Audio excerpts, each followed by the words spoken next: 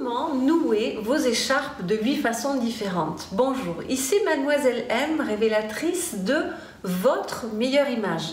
Cette vidéo suit en fait deux autres vidéos dont l'une est consacrée à 8 nœuds pour des petits foulards ou des foulards de dimension moyenne et 8 nœuds pour des foulards de grande dimension. Donc cette fois-ci, il s'agit de nœuds pour vos écharpes. Alors le premier nœud que je vais vous montrer est en fait un nœud de cravate. Et ce qu'il s'agit de faire de manière générale avec toutes vos écharpes et tous vos foulards, c'est de rabattre les côtés de façon à ce qu'on ne voit pas les coutures, vous voyez, comme ceci. Et une fois que vous avez rabattu les coutures, vous mettez votre écharpe autour du cou de façon asymétrique. Et avec le côté le plus long, vous allez faire un nœud sur votre main en gardant le nœud bien lâche et en vous assurant que la surface du nœud est bien plane et que le tissu ne vient pas en ramassis ou quoi que ce soit.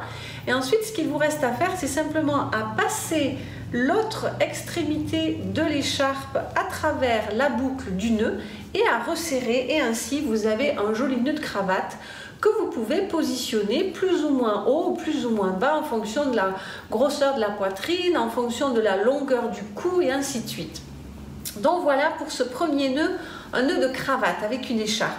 Ensuite, je vais vous donner une astuce, c'est plutôt une astuce qu'une façon de, nouer le foulard, parce qu'en général, qu'est-ce qui se passe quand on a une écharpe autour du cou? Eh bien, on fait un premier nœud, voilà, voire un deuxième euh, si le tissu le permet.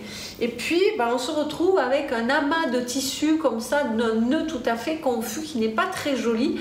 Et là, ce qu'il vous suffit simplement de faire, c'est que le nœud qui est contre votre ventre, contre votre estomac, eh ben, le pan plutôt qui est contre votre estomac, vous le saisissez par l'intérieur du cou et vous le faites passer par-dessus.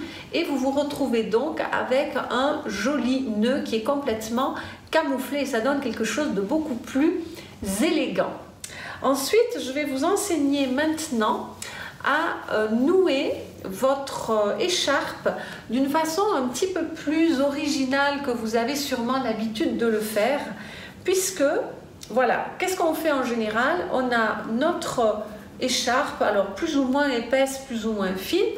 On la plie en deux et on la met autour du cou tout bêtement hein, en faisant quelque chose qui ressemble à ceci. Voilà.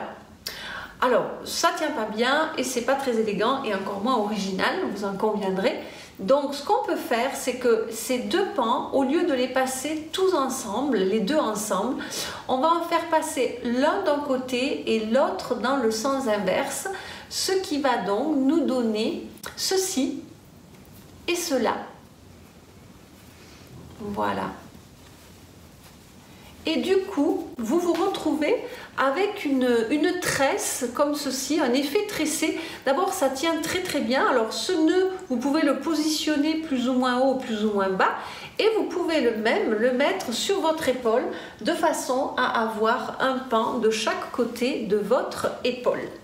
Ensuite, je vais vous enseigner à faire une blouse avec euh, une écharpe. Alors cette fois-ci, on ne va pas du tout rabattre les côtés pour avoir une, bande fine, mais au contraire, on va garder toute la largeur. Là, je vous ai pris une mousseline. Ça peut être une soie. En tout cas, il faut que ce soit quelque chose d'assez fin. Vous le passez autour du cou.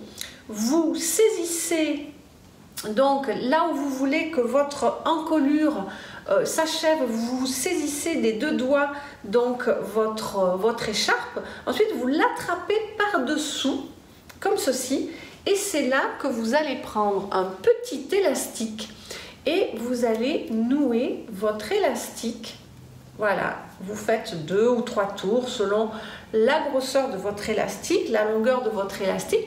Vous rabattez le côté et vous saisissez par l'intérieur du cou, donc l'élastique, et vous tirez pour séparer et du coup vous vous retrouvez donc vous voyez avec un, joli nœud comme un papillon comme ceci. Et là voilà là il est passablement sous mon cou mais on pourrait le faire un petit peu plus bas également. Et là, il vous reste plus qu'à mettre donc euh, une veste par exemple et ça vous fait une jolie encolure pour votre veste. Et s'il fait chaud en été, vous êtes obligé de porter une veste pour le travail, vous n'avez vraiment pas envie de mettre une blouse dessous, et eh bien là, vous avez votre blouse qui est toute faite. Ensuite, je vais vous enseigner comment porter une écharpe avec un sautoir. Donc là, j'ai un long, long collier qui est ce sautoir. Et ce qu'il vous suffit simplement de faire, c'est que vous prenez votre écharpe, donc vous, euh, vous faites en sorte que le petit côté soit assez égal. Vous mettez ça autour du cou et vous passez simplement votre collier comme ceci autour de votre écharpe et votre écharpe se transforme donc en, collier et on va distinguer de temps en temps, voyez le, collier qui se voit et ça donne donc quelque chose de particulièrement habillé. Donc voilà que faire avec un sautoir et une écharpe. Et puis, ce que je vais vous montrer maintenant, c'est comment vous faire un joli tour de cou euh, pour une circonstance habillée. Donc il vous faut une soirée, quelque chose d'assez fin. Euh, l'idéal, c'est la mousseline et vous pouvez même aller vous chercher un, tissu au métrage pour faire ça.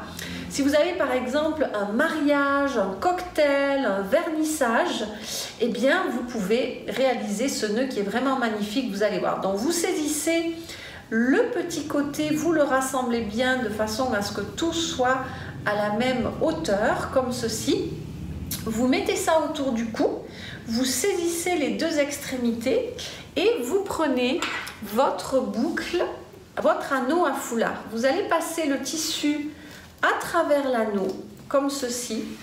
Vous le remontez plus ou moins haut selon vos désirs et vous fermez. Et vous avez donc tout le tissu qui est à l'arrière. Donc imaginez si vous avez une très longue mousseline comme ça, hein, donc vous avez une circonstance, une occasion particulière, vous n'avez pas envie d'acheter un vêtement, et, mais vous avez une superbe mousseline qui est dans une magnifique couleur qui vous va bien à la maison, ou vous achetez donc de la mousseline au métrage, et vous voilà avec une tenue vraiment ravissante et vraiment qui va faire tout son effet, je vous le garantis. Vous pouvez également faire un collier avec euh, une écharpe. Alors il faut que l'écharpe soit assez fine. Vous rassemblez comme tout à l'heure donc les côtés, les petits côtés dans la main et vous allez exercer avec votre bras et avec votre poignet comme ceci. Vous allez faire des cercles de façon à ce que l'écharpe se vrille, s'enroule sur elle-même comme ceci une fois qu'elle est bien enroulée, vous saisissez l'autre extrémité. Voilà. Vous finissez de la vriller en la tournant sur elle-même et vous rassemblez les deux côtés et vous allez voir que ça va se faire ça va se transformer en tresse automatiquement et il vous suffit de mettre ceci autour du cou en vous assurant bien que la boucle va bloquer donc le, reste de l'écharpe et vous voilà paré avec un joli collier. Et puis, vous pouvez même faire un collier bicolore, je dirais. Donc, vous récupérez la vrille de votre première euh, écharpe, comme ceci. Vous la mettez de côté. Vous prenez une deuxième écharpe. Alors là, j'ai pris vert pour les besoins de la vidéo. Donc il vaut mieux que vous preniez une autre couleur unie, il vaut mieux faire prendre des couleurs unies dans ce cas. Vous rassemblez à nouveau le petit côté de l'écharpe et vous faites une seconde vrille comme ceci, toujours avec le mouvement du poignet, de façon à ce que l'écharpe s'enroule sur elle-même et une fois qu'elle est bien enroulée, vous l'attrapez. Et ensuite vous allez réunir donc ces deux écharpes en les tenant à l'extrémité et vous allez voir qu'elles vont à nouveau s'enrouler l'une sur l'autre et il vous suffira simplement de, voilà, de, de passer à travers le trou et ensuite de faire un effet un petit peu vaporeux comme ceci avec ce qui dépasse et vous voilà avec un superbe collier qui va vraiment donner un effet waouh à vos tenues. Et puis enfin, je vais vous montrer comment faire un jabot avec votre, votre, votre écharpe. Donc il s'agit de rabattre les côtés vers l'intérieur une nouvelle fois pour obtenir à peu près 3 doigts de largeur. Et cette fois-ci, vous faites un nœud très très lâche. Voilà, comme ceci, en vous assurant bien que le tissu reste plat. Et ça, il vous suffit de le mettre, de le nouer autour du cou. Et ça va donc vous donner quelque chose comme une cravate si vous voulez et ça va permettre de déployer vraiment tout, le motif de votre écharpe et c'est quelque chose du reste que vous pouvez aussi tout à fait faire avec un carré. La seule chose qu'il vous faudra faire c'est prendre soin de transformer votre carré en, écharpe en rassemblant donc les deux pointes face à face et en vous assurant d'avoir à peu près une largeur de 3 ou 4 doigts. Et ensuite, pareil, vous faites un nœud lâche, voilà, que vous nouez autour du cou, comme ceci, et vous voilà paré de votre beau jabot et qui va vraiment habiller une robe ou une veste ou, ou que sais-je et vous pouvez le rendre plus ou moins large. Voilà, j'espère que ces huit nouvelles façons de nouer les écharpes vous apporteront quelques idées. En tout cas, je vous remercie infiniment pour vos likes, pour vos partages, pour vos abonnements, pour vos commentaires, pour vos suggestions de vidéos. Et si vous n'avez pas encore téléchargé les cadeaux de bienvenue, il est temps de le faire.